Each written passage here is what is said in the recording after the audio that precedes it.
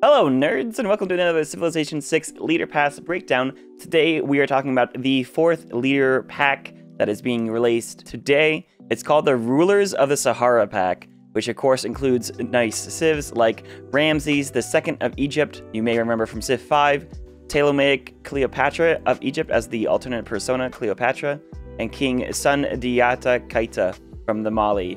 All very, very interesting civs, and I'm super excited to get into them. Let's try to talk about Egypt as a whole so we can go ahead and dive more deeply into Ptolemaic, Cleopatra, and Ramses here later down in the video. For those that don't know, most civs in the game have a starting bias. Egypt has a tier 2 floodplain spawn bias as well as a tier 5 river spawn bias. Uh, basically what that means is that they almost always spawn on a river and generally on floodplains. You can see this original Cleopatra uh, has spawned on a river with floodplains, lots of rivers actually, which is really useful for their abilities. Egypt's abilities can kind of be broken down into two parts. The first is 15% production towards districts and wonders built next to a river. Note, this is river, not just floodplains. So, for instance, a holy site here on this tile will be built 15% faster, but so will a commercial hub on a basic river tile like this. This is a nice little production boost that helps you get your infrastructure down faster and is just generally good no matter how you play Cleopatra, as long as you're trying to settle along rivers. This also applies to wonders. So for instance, if you want to go ahead and build something like the Hanging Gardens, you do have a 15% production boost, which is nothing to sneeze at.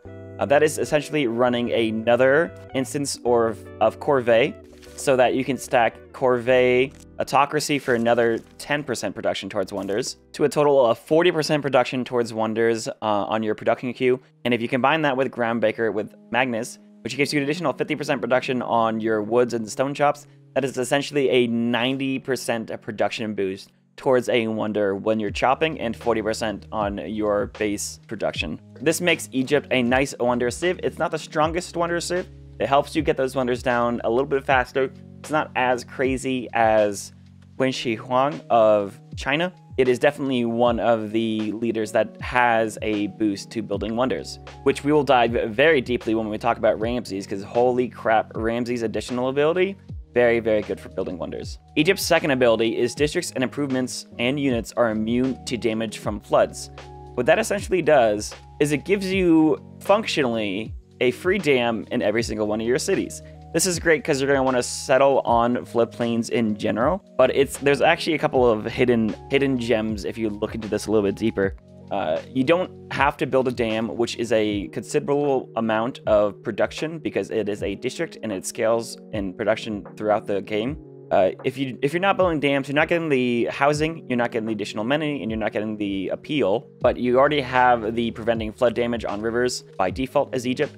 And you're also not getting the prevention of food loss during droughts for the city, which is actually an ability I completely uh, forgot about. I, I forgot that dams counteract droughts, which is really cool. But dams also do this ability where yields from flood disasters drop by 50%. But basically, you get a lot less food on those floodplain tiles every time it, it floods.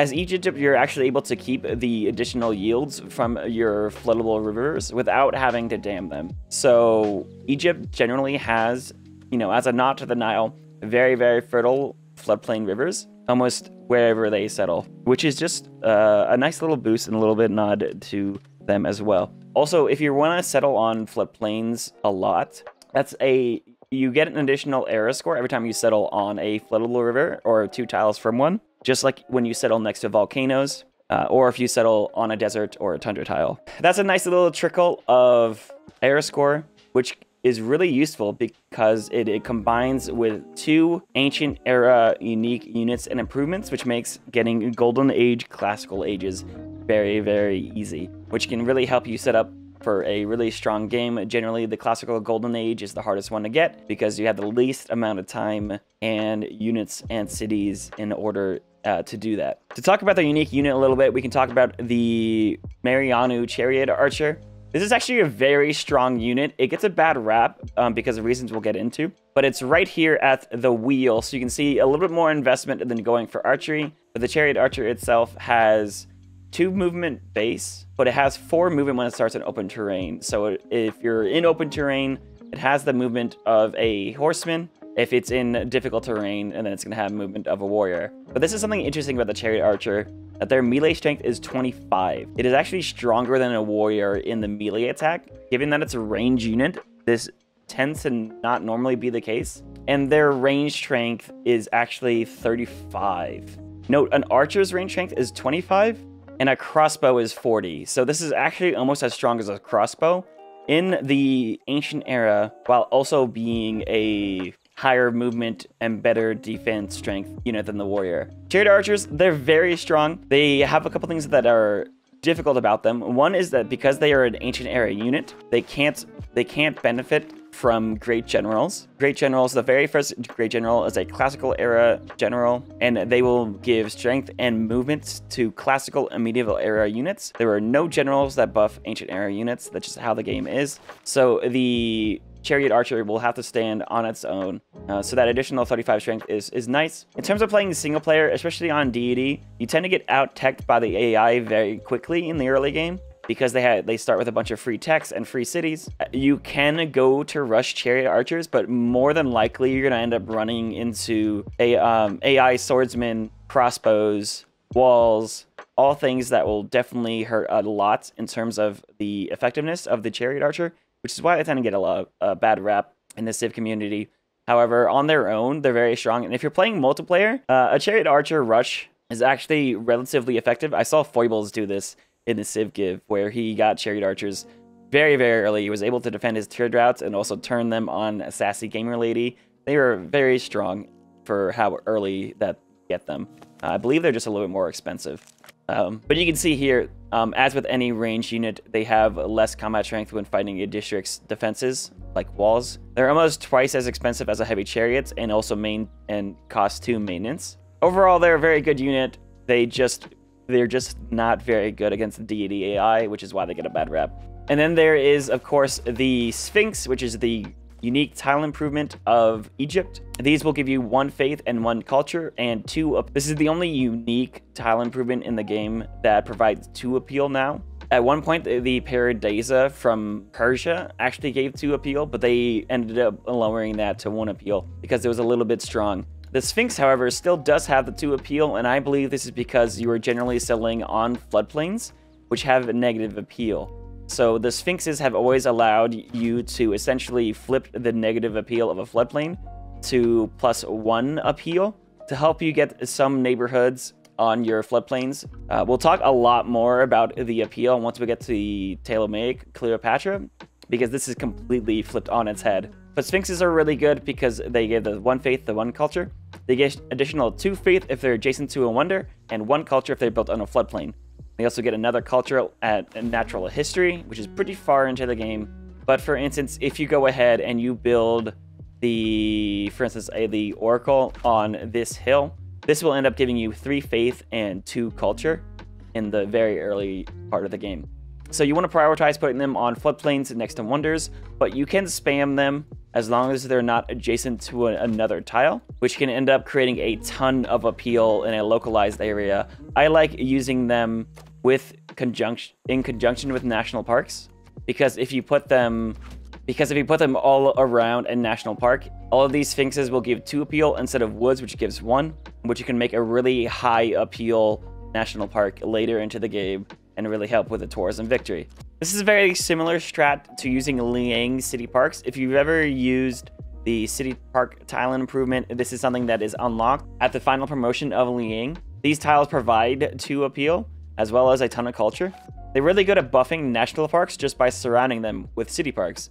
But as Cleopatra, you're able to use this and your Sphinx anywhere in your empire with have without having to invest deeply into Liang and still get the same bonus and even a better one because your your sphinxes will be giving you more culture than these city parks will when you take Liang out of them. Uh, because once you get to flight, you also get tourism based off of the culture on these tiles.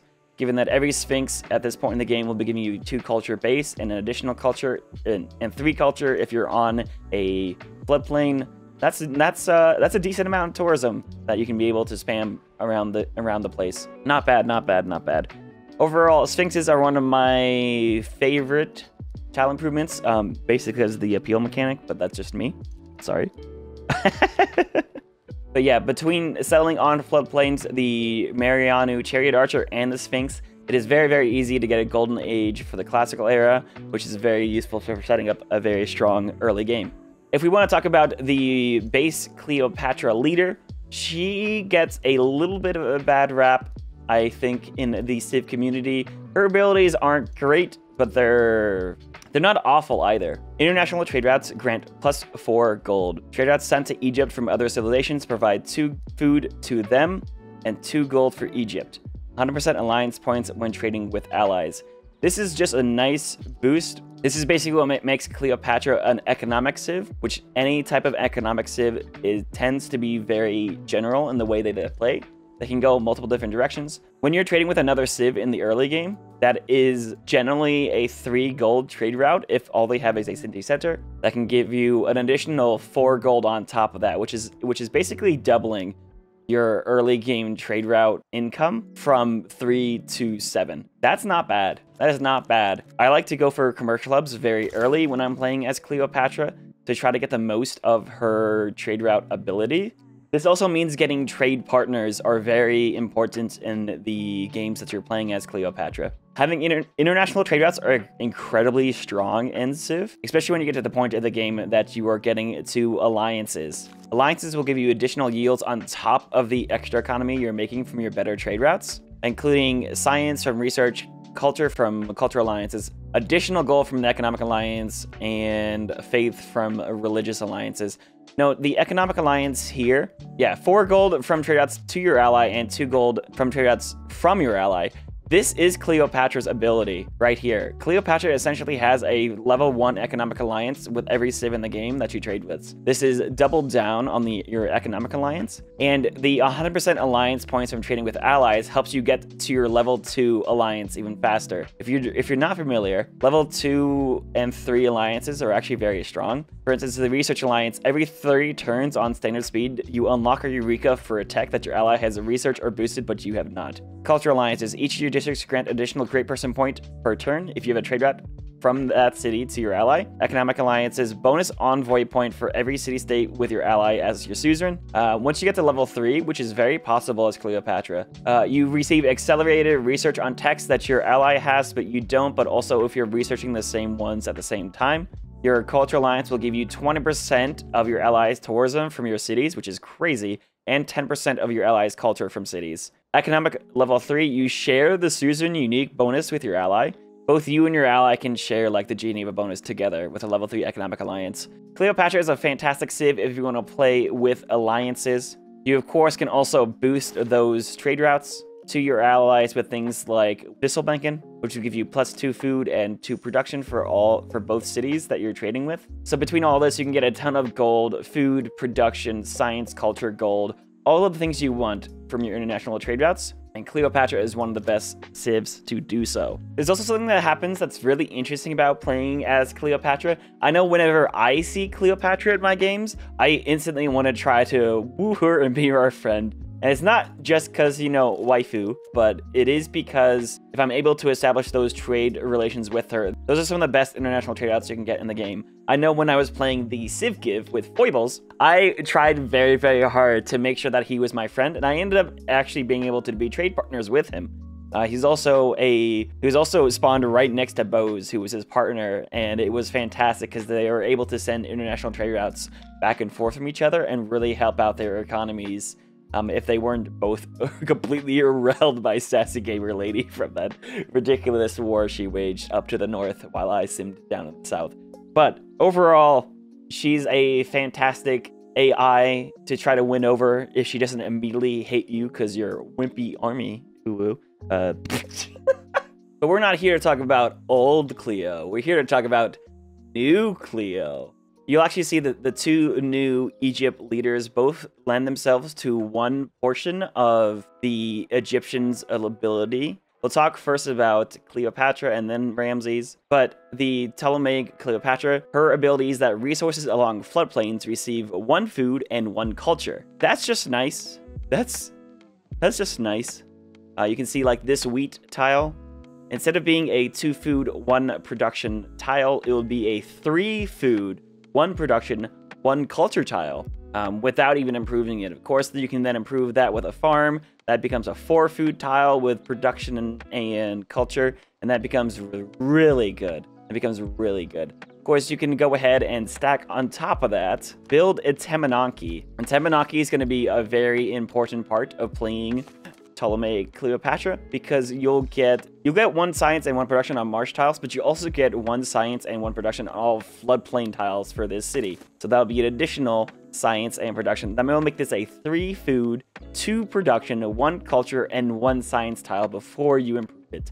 Uh, same thing with this maze would also be improved, and then all of these all of these tiles would be very very good. And you'll see that's exactly what they did in the Firaxis livestream. These tiles are fantastic.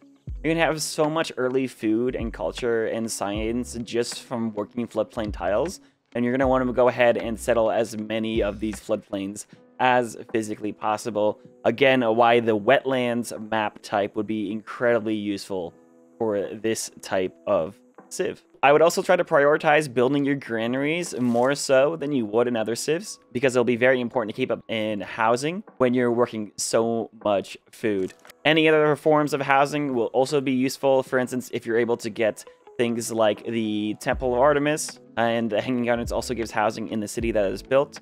Keep an eye out for these wonders. Uh, also refer to my China video for a in-depth conversation about growth because we went very, very deep about how to maximize growth for playing young Yongle. For Ptolemy Cleopatra, aqueducts are definitely an option. You'll build your aqueducts faster. However, just make sure you're not putting aqueducts on your bonus resources. And for instance, in your Temenaki City, I wouldn't try to aqueduct a tile that has a floodplain on it. But if there's another river tile, another random freshwater tile that you could aqueduct onto, like this one, um, maybe even this one to, I mean, it kills a hill, but it would preserve production and science on these floodplains those would be very useful to help you get the housing that you need to get to high population. So will a classical republic government, which will give you plus one housing and one amenity in your cities. These will be incredibly important to try to, to help keep your cities growing.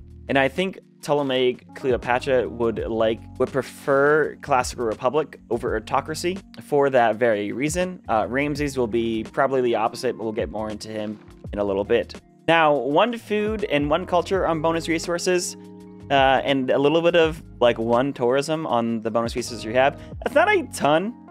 This first half of the ability, it is it's fun, but it's not like anything crazy. The second part of the ability is uh, is kind of game changing in certain ways. The owned floodplains grant plus one appeal to adjacent tiles instead of negative one.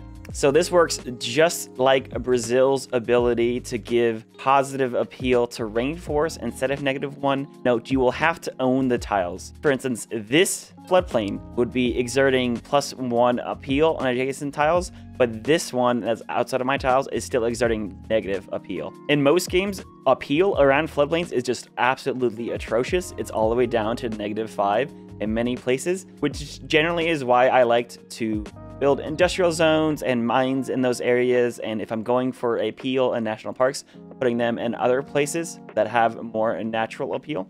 Now, Ptolemaic Cleopatra completely flips this on its head. Because you can see right here, this is a negative five appeal tile. That's because there's one, two, three, four, five, six negative appeal tiles next around it. Um, freshwater counts as plus one appeal.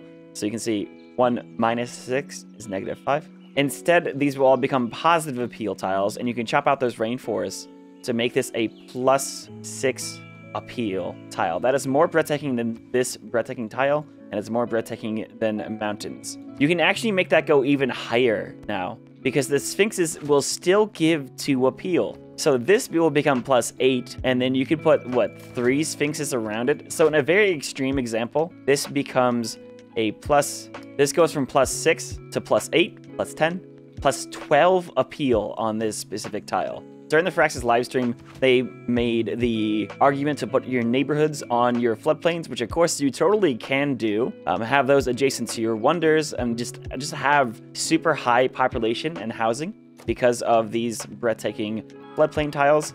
But there's also other things you can do, including silly shenanigans you could never have done before, like preserves on floodplains. Of course, this is gonna be my favorite. My favorite thing about uh, the the new Cleopatra is the option to do preserves on floodplains because these these tiles they're gonna keep flooding throughout the game. They'll get food naturally throughout the game on its own. Then you go ahead and put in a grove, which will give you additional two food, two faith, and culture on breathtaking tiles. And then you can also do other shenanigans, like Harena Forestry Management will give 2 gold on unimproved features. So you can get additional 2 gold, 2 food, 2 culture, and 2 faith on all of these breathtaking floodplain tiles, which will have an additional 1 food and culture from Cleo's ability. That's really, really awesome. Uh, Reign Forestry Management also gives plus 1 appeal to unimproved, plus 1 appeal to unimproved tiles. Generally, that takes a negative appeal floodplain from negative 1 to 0. Uh, but with Ptolemaic Cleopatra, it will take it from plus 1 appeal to plus 2 appeal. Plus 2 appeal floodplains will make this so gosh dang high in appeal. This would this would be so this goes from what would have been a negative 5 appeal tile to 1, 2, 3, 4, 5, 6, 7, 8, 9, 10, 11, 12, 13 appeal. 13 appeal before getting Eiffel Tower for the 2 appeal here, or Golden Gate Bridge in a applicable city that gives 4 appeal. That's a lot, and then you can go ahead and you can start national parking your breathtaking floodplain tiles, which will have an incredible amount of appeal. Since appeal equals tourism in national parks, you will end up having some incredible, incredibly impactful national parks on your floodplains. If they are tiles that you're not districting already, right? Like, there's going to be a mix of trying to improve certain tiles, having water mills, and then also starting to district around your rivers, build some wonders around rivers, and then preserving certain rivers and also national parking in other places. I think in the early game, you probably won't be saving all of these tiles specifically next to your capital for all of this appeal. What you might want to do is you can settle a few cities in, for instance, a triangle around so that you can go ahead and get a a really good start on commercial hubs and workable tiles. Maybe you put your government plaza here, actually. And then you, you'll do something similar and have a really strong uh, center of your empire with a lot of districts and wonders. For instance, you could put things like hanging gardens down and get it some really good theater squares, get it some crazy culture, and then start working on other, on working on appeal in other places. Like right here could be a nice preserve because you'll be able, these uh, these floodplains are now positive appeal. It kind of just really opens up the game to do some crazy shenanigans in a a way that wasn't possible before. I don't know if Ptolemaic Cleopatra will necessarily be a good civ. It's certainly not a broken civ by any stretch of the imagination, but she does open up a brand new playstyle that isn't available in any other civ. Just because of that, I think she's a very successful civ in terms of game design, and I'm so excited to try her out. I think she's definitely less general than original Cleopatra, who is very ec economic focused. And because she's food, culture, and appeal focused, she's definitely leaned a lot heavier into the, the culture victory aspect. I think playing her, you want to try to get the Sphinx down as soon as you can. You want to get a strong early couple of cities prioritize building the Itamanaki to really try to get some science to balance out all the additional culture and faith you'll be receiving. Have a good mix of science. Use that culture to get certain milestones like your political philosophy, feudalism, and all the way down to things like your natural history and conservation civics In terms of science, you're going to want to try to play into uh, early early wheel. You could try to go for a a Ruhr Valley, which has to be on a river to give you additional production anyways. Though you might want to also avoid the negative appeal of mines and IZs. Get to flight so you can get to tourism for your sphinxes as early as you can, as well as computers for that tourism boost. Things like Eiffel Tower will also help you with your national parks, as well as that Golden Gate Bridge. Neighborhoods definitely have a place with the new Cleopatra as well. You're to have so much food, you're to need the housing, get a crazy population, be able to really exert your loyalty pressure on other cities next to you. And because you have a neighborhood anyway, you might as well go ahead and look into playing around with the biosphere. Because you're going to have a neighborhood on a river, you might as well build this as well, because it'll give a plus one appeal to your rainforest and marsh in addition to your floodplains. Almost every single tile that you own will be exerting positive appeal, and you'll just have crazy, crazy appeal everywhere. Again, only Civ in the game that every single feature Rainforest, marsh, and floodplains will all be giving appeal. Not even Coupe and Bull State can do that. That's that is that is so fantastic. Now, while Ptolemy Cleopatra opens up a brand new playstyle, all centered around having fantastic districts and improvements on uh, floodable tiles, Ramses focuses very heavily on the wonder production side of Egypt. You can see here the leader bonus of Abu Simbel, Receive culture equal to 15% of the production cost after completing any building and 30% after completing any wonder. That is short, that's simple, that is sweet, and a holy crap, that's a lot of culture. This is a, there's gonna be a lot of background math happening here, but we're gonna go ahead and do some of the math here right now. Let's look at the cheapest building in the game, the Monument. The Monument is 60 production. If you take 15% of that, that is 9 culture per turn you get immediately when you build the monument. Remember, when you first settle a city, you're making essentially 1.2 culture per turn. This goes up by 0.2 for every population you have, and uh, you're only getting that one culture because of the palace itself. The real start to culture is your monuments you're gonna have like one, maybe three, and maybe if you will have like five culture per turn, if you have two cities with monuments. Nine culture is a lot.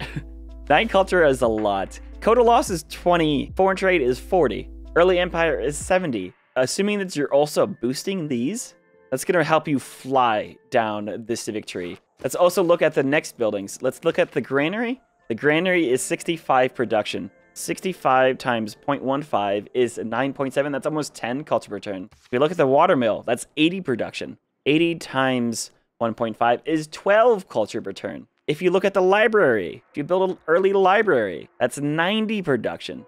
That's 13.5 culture per turn as soon as you build one. Your markets are 120 production. That's 18 culture whenever you finish a market. That is a uh, that's a very nice trickle of culture that just helps you out throughout the entire game.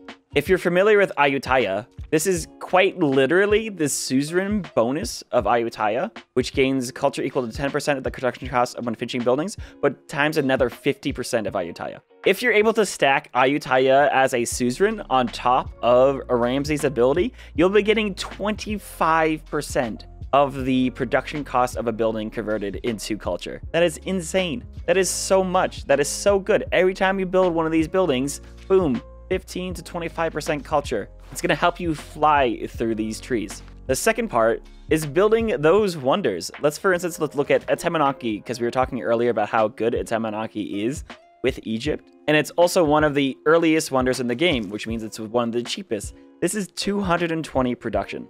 If you take 220, multiply that by 30%, that is 66 culture. 66 culture is almost the entirety of state workforce or early empire.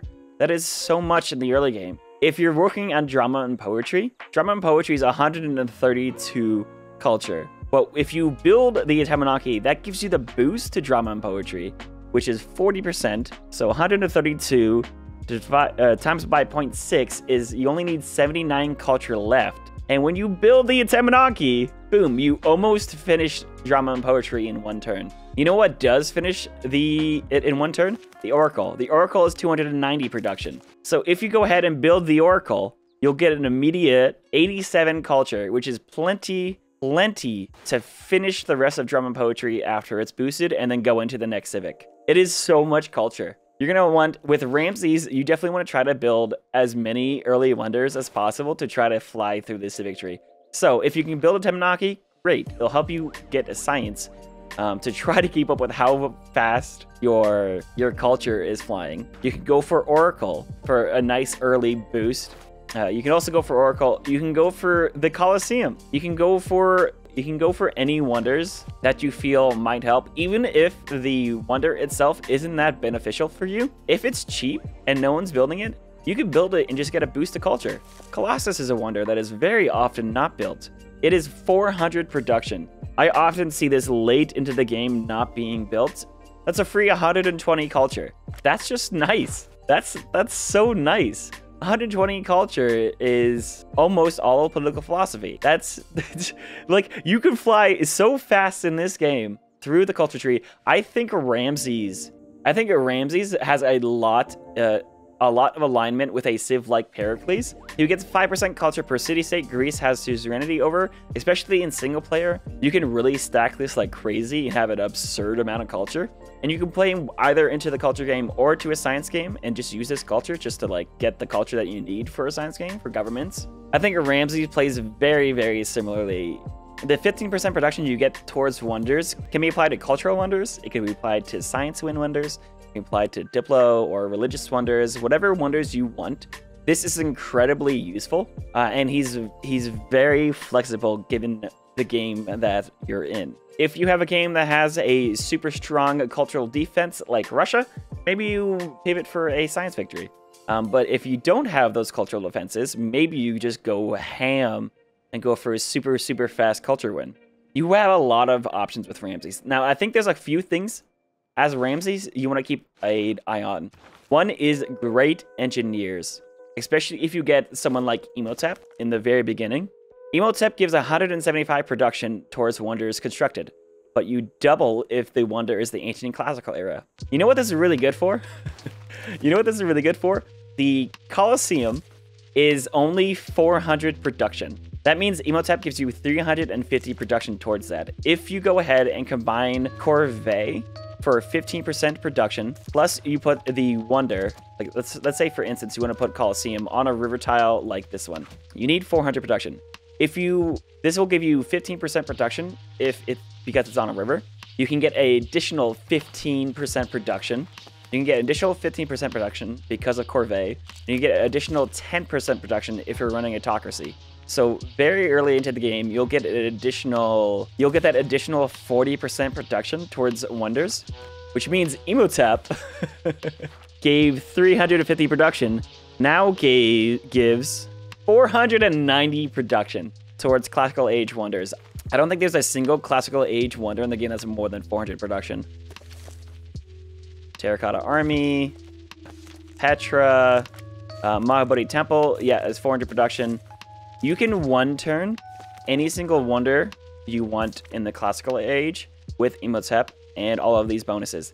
Now, before you do that, please use Imhotep on Mausoleum. We'll give your great engineers an additional charge, which means you can one tap build the Mausoleum, then you can go back and one tap build the Colosseum. Yeah, so Imhotep starts with two charges. If you'll have three charges, you'll be able to one tap three wonders in the classical era. So you can build a mausoleum, then Colosseum, and you can one tap Mahabodhi Temple, or the Great Lighthouse, or Petra or the Colossus. Any of these wonders that you want, they're all so incredibly, incredibly quick to build if you're if you know how to utilize your cards together. This will be a um, a mad amount of culture, a mad amount these are 400 production. That's 120 culture three times in a row if you're able to stack all of these Imhotep charges. 120 times 3 is 360, which is the amount of culture you need for feudalism. That's insane. That's insane. That's so much culture. That's so good. Oh my gosh, we didn't even talk about Monument to the Gods yet. That's another 15% production to Ancient and Classical Era Wonders. Oh my goodness. You could choose this, or you could choose another Pantheon that might give you yield throughout the rest of the game. But especially prior to getting your Maybe Monument to the Gods is really good if you want to go for Etemenanki specifically, uh, or Oracle, because you generally want to go for those before you have access to Corvée and or Autocracy. So maybe Monument to the Gods is still a really good pickup here. That being said, if you want to have access to these great engineers, you're going to want either Faith, you're going to want either Faith or Gold, so that you can Gold buy or Faith buy them. Um, or you do you want a, a couple of industrial zones uh, you don't need to really worry about dams as much because you don't have those floods that are coming, but you could build them for the sake of adjacency. But what you really want is you want the great engineer points so that you can get tons of wonders. So you'll definitely want to keep out for certain cards, uh, specifically invention at humanism, because this will give you four engineer points per turn plus two engineer points per turn for every workshop you have. This can turn into a lot of very early great engineer points right at the start of the Renaissance era. So after you got Emo Isidore in Imhotep in the medieval era from Faith, probably, you run uh, invention from here, and then you just go ahead and gobble, gobble up the rest of the Grey Engineers from the couple of industrial zones you've built. We get, which gets it even crazier once you get to nuclear program, when you can also get scientist points and more engineer points. You get two engineer points for every factory and four from every power plant. You know the other good thing about Ramses is that we asked during the Firaxis live stream if gold buying buildings also gives you the culture boost, because generally uh, you would think that it wouldn't. It would only be building them. But in fact, this actually does work. Gold buying does give you culture as well as producing them. This is absolutely incredible because as soon as you settle a city, you can just start buying buildings and just boosting your culture tree just further and further along. Imagine the, the example earlier when we built Etemenanki and you boost drama and poetry, and then we had almost enough culture to finish drama and poetry, then you can just buy a monument and a granary here and there, and then end up finishing the rest of the of the civic. You could even try to work on two civics at the same time if you wanted to. You could work one turn into a uh, one civic, you can switch to another, buy a couple monuments, move it along, and then work come back to working over here. That seems like an incredible micro. And I need a very specific example for when that'd be useful, but I think some of the multiplayer CPL community might actually have a lot of fun with that type of micro. Like, that's that's that's that's insane. It's like using Qin Shi Huang to build two wonders at a time. Ramses could work on two civics at the same time. That's that's so that's so crazy. Apparently this works when you also get buildings for free. So, for instance, if you built the Torre de Belém, you get a free monument every time you settle a city that is not on your capital's continent, which means you would just get that extra little boost of culture as well. You'll get that extra nine little culture every time you settle on a new continent. This is pretty far in the in the game, but it, like it's just it's just fun to think about. It even works for building replacements. So, for instance, if you had built monuments, let's say in like three cities, and then you decided to pick Void Singers. Not only did you get the boost of culture every time you built a monument, but when you replace that monument with Old God Obelisks, you will also get an extra little boost of culture. I, I still need to test this, but based off of things that we've heard from other types of mechanics in the game, I think this should work. I think this should work. That's that's so niche as well, but it's just hilarious. I would suggest trying to settle your cities early and getting those your district's placed so the cost of the districts doesn't go up too fast as you speed through the culture tree. And then once you have a good amount of cities, then you can crank out all the buildings, all of the wonders, all of the districts that you want, and just have an absolute blast playing this Civ. And after Ramses, we gotta talk about the last leader of the pack, who is actually a leader of the Mali Empire, King Sundiata Keita. So let's first talk about Mali. Mali is actually one of my favorite civs in the game because they have such an incredibly different playstyle. Most of the time you're trying to settle to maximize the amount of yields on the tiles that you're settling. However, Mali will settle in the middle of the desert when there are absolutely no yields because they have other ways to get those yields. Your city centers actually gain faith and food for every adjacent desert tile and desert hill tile, that which does encourage you to settle literally in the middle of the desert. Your mines don't receive the plus one production, but they do receive plus four gold.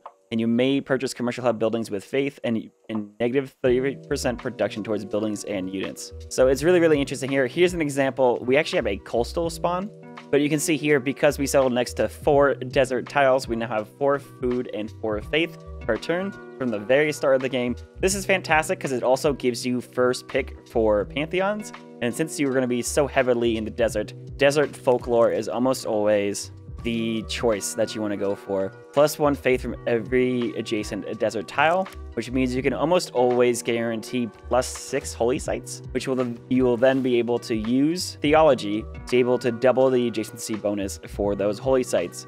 I generally like to go for a work ethic as well, to turn that adjacency bonus into production, this actually gives Mali a very good source of production that he would normally not have and still needs. Because if you look at Mali's ability, this negative 30% production toward, is only towards buildings and units.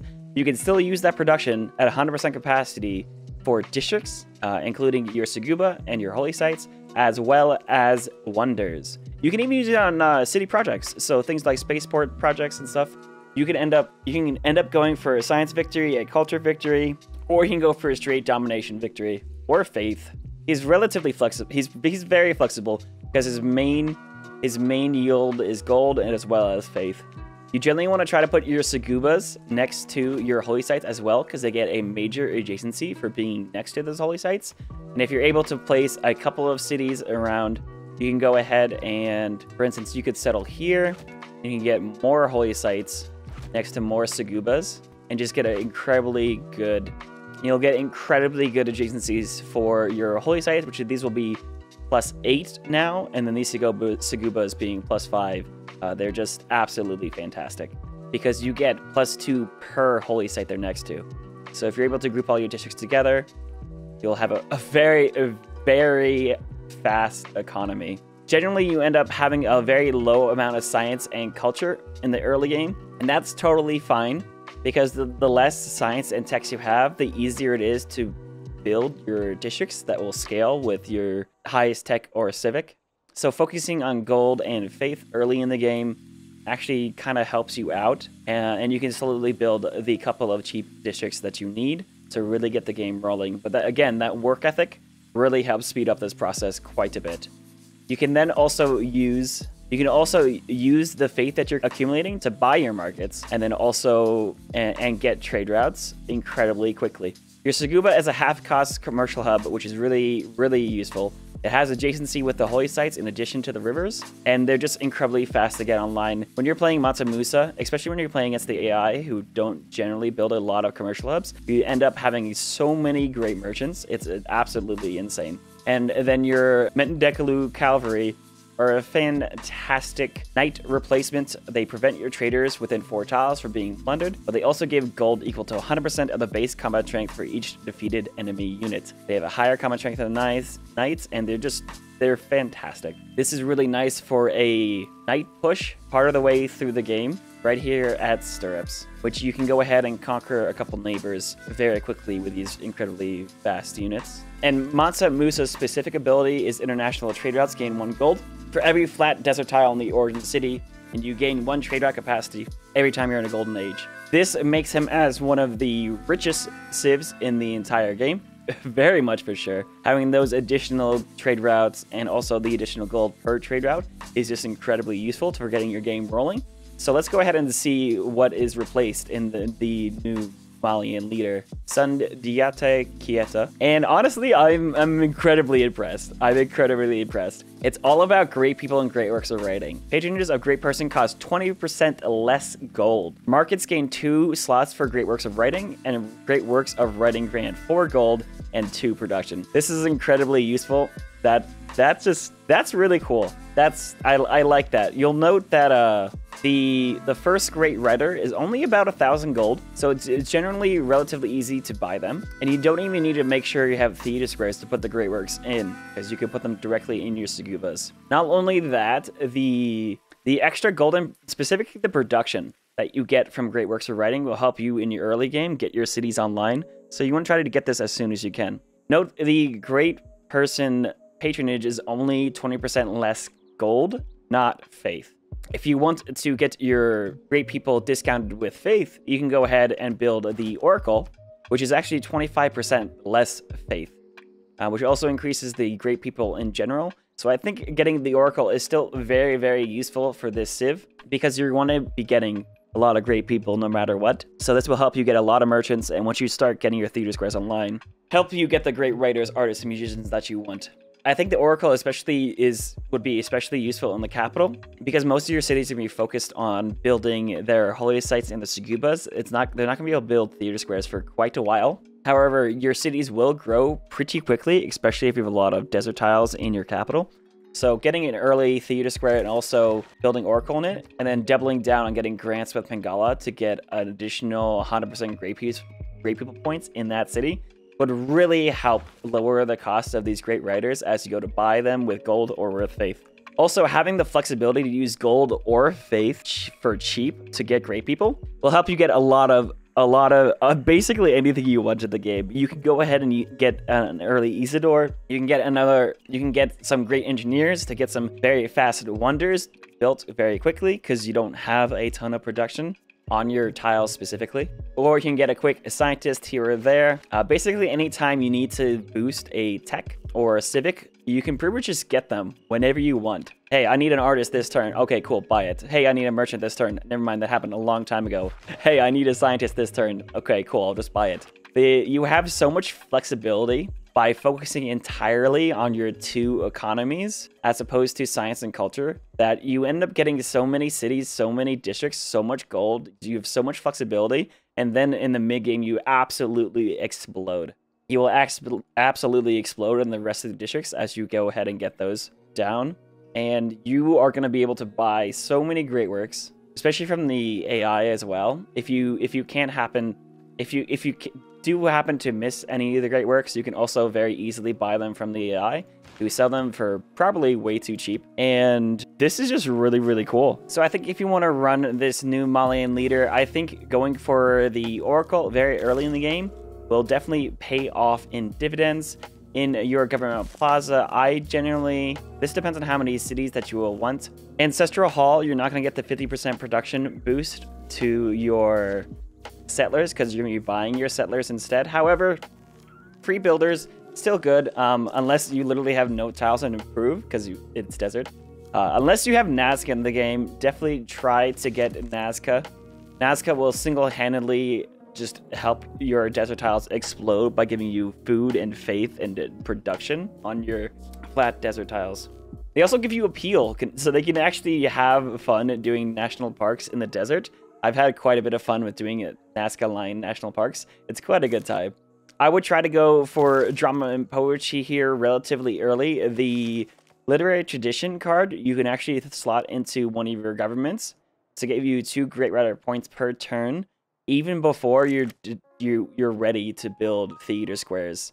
That way, the cost of this great writer will just slowly tick down turn after turn, because uh, you only need 60 great writer points. So Technically, that card alone will get you a great writer in 30 turns, or you can play it, you could run it for about 10 turns and get a third of the cost of the gold of the writer down, and then you'll be able to plug those great works into your markets definitely go ahead and go for your your holy sites and your Sugubas. Those are the two early districts you want to build. From there, it depends on the city. Uh, next to some wonders, you could definitely go for pyramids because you will have so many desert tiles. Why not? Why shouldn't you have it? This is just always a good wonder. Of course, you have to build the Petra. You are, you are obliged to if you're playing as the Mali. Just getting so much additional food, gold, and uh, production on your desert tiles in that city is absolutely fantastic. I love combining the Petra with the River Valley as well. Petra, Hill, Mine, River Valley cities are actually stronger than regular mines. It's absolutely fantastic to play with. But before that, probably go ahead and get your, your Mamluks, which you can actually rush relatively efficiently. This will help you go ahead and go to war with your enemies and do a lot of pillaging and steal a lot of gold by killing units as well. You could definitely run Merchant Republic for 10% gold in all cities or Theocracy to get the 15% faith discount. This definitely depends whether or not you are running the... This kind of depends on your specific setup. Do you feel like you have more, more gold return? Do you feel you have more faith return? Both of these are very, very good choices. And then if you want, like this specific game would be a fantastic game to build Torre de Belém because my capital is on my on the coast. So international trade routes from this city receive two gold for every luxury resource at the destination. I could go ahead and build a harbor here if I wanted to build a the Torre de Belém. And then international trade out this direction will help me give me additional gold. We even have pastures. Oh my goodness. Hang on. This is a Great Zimbabwe start as well. So if you want to build the Great Zimbabwe, it'll give you a free trade route capacity. Trade routes from this city give two gold for every bonus resource within three tiles of the city in the city's territory. Adjacent to Oh, it has to be adjacent to cattle, not sheep. Anyways, um, if this was a cattle tile, a Great Zimbabwe is also a really nice wonder to try to build. So would the Colossus. So would the Colossus, because it's just another uh, trade route. This, of course, does require harbors. I might avoid going up here towards harbors altogether and focus entirely on Sugubas. But there's nothing wrong with doing a, a, a cheeky Suguba harbor city with Reyna in it. Because Reyna forged Harbor Mass. Reyna Harbor Mass will double your bonuses of your commercial hubs and your harbors. So if I had a Reyna city, I would never feel bad about putting a harbor and a commercial hub in the same city. Because then this becomes a plus 10 commercial hub and this becomes a plus 6 harbor. There's that is that is very very good. Usually I say Mansa Musa is kind of open-ended how you want to finish the game. He just has so much gold. But this new Keita has a definitely a tendency for going for all the great works. So I think he leans a little bit more towards the culture victory than someone else would. Try to get as many great works as slot. Usually I would say go for wonders that give you as many great work slots as possible. Things like the the Apadana, the Great Library, you know, Broadway and Bolshoi. Though I think you'll have so many great work slots between your markets and your theater squares, you don't necessarily need to prioritize these nearly as much. I think the Great Library would be useful because you will have some pretty weak science and culture in the early game, and getting those free boosts for everything in the ancient and classical era will help you keep up, as well as giving you free by like boosting all the things that you probably won't be boosting, as well as giving you free tech boosts throughout the game every time someone gets a great scientist, since you probably won't be building a ton of campuses. And the AI loves the great scientists. Yeah, Oxford University also has great works of writing. So that's a, that's another example of something you can build. Also, uh, this is actually really important. Not all great writers are the same. So if you go ahead and go down the list, you can see we have lots of great writers here. You can see there's a, what, six from the classical era, four from medieval, five renaissance, five industrial, six modern, two atomic, and two informational. This is, this is like, yeah, okay. But there's a couple of great writers that actually give double the culture and tourism than the other ones do. Most great works of writing only give two culture and two tourism. However, look at these, the ones the ones that have number one ones on them. Available at the Babylon pack, great works created by this great writer yield an additional two culture and tourism. If you see Valmiki in the classical era, try to prioritize that person. Let's see who we have here. Yeah, we have Ovid. If this was Valmiki, this great work of writing would give us double the culture and tourism. So you may want to keep an eye out. If you see one that is better than the others, you might decide that you want to go for it, as opposed to a normal writer, which you know you might just have a little bit more extra time to go for. But it's Valmiki of the classical era, it's Rumi of the medieval, Beatrix Potter of the modern era, and Gabriela Mistral of the information era. These are great writers you definitely want to keep an eye out for.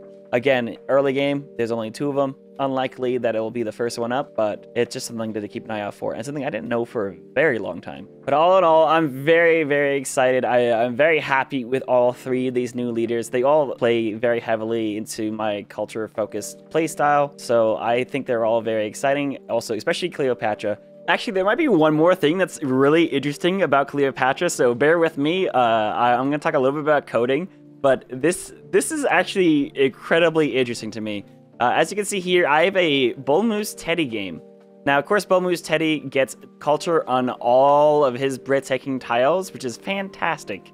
We also know that at Flight, all tile improvements that provide culture will also start generating tourism based off of that culture generated. So things like the Sphinx, things like the Great Wall, things like Alcazars, any type of tile improvement will generate tourism. Uh, and this also actually works for things like Gaul's Mines and the Pantheons for pastures and plantations. This is all a well well-known well-known mechanic, right? But we know Bull Moose Teddy doesn't get the tourism on, of course, his unimproved tiles, because that would be absolutely bonkers. And he doesn't get them on lumber mills as well. This is a tile that has culture because it's breathtaking, but it's not generating culture itself, so it's not supposed to generate tourism. However, you'll see something right here where we have a uranium mine that is generating tourism. So is this plain mine here. So is this pasture. So is this plantation. This pasture is generating tourism, and so is this pasture. Now, I thought you were only supposed to get the tourism off of these tiles if you had the Pantheon. or if it was an tile improvement that generated the culture. However, it appears that Bullmoose Teddy's tourism does generate off of tile improvements if it happens that somewhere else in the game it is coded that that tile improvement should activate tourism. So we know that plantations will generate tourism based off of the goddess of plantations pantheon. We know the goddess of open sky plantation will turn on culture and tourism to pastures. We also know the Gaul, when they get culture on their mine tiles, they will generate tourism from them. It appears that Bull Moose Teddy also gets these tourism if the tile happens to be breathtaking, generating culture, and is activated somewhere else in the game. However, it didn't work for things like Maize because there hasn't ever been a tile improvement. Uh, it hasn't worked for things like wheat that don't generate culture somewhere else. However, now culture is generated on bonus resources or any resource that is on a flood floodplain tile. So either Bull Moose Teddy should also start getting tourism on wheat and maize, or it will only happen on floodplain tiles. This is something I would love to test as as soon as the DLC comes out. But uh, it's it's a funny little quirk of the game that I feel like the majority of people don't know about. So I thought I would share. So if you thought that was interesting, let me know. and uh, if you want to play some Bull Moose Teddy now, uh, do it. But yeah, what is your opinions of some of these new civs? I think I'm reserving my final opinions until I actually get a chance to play all of them.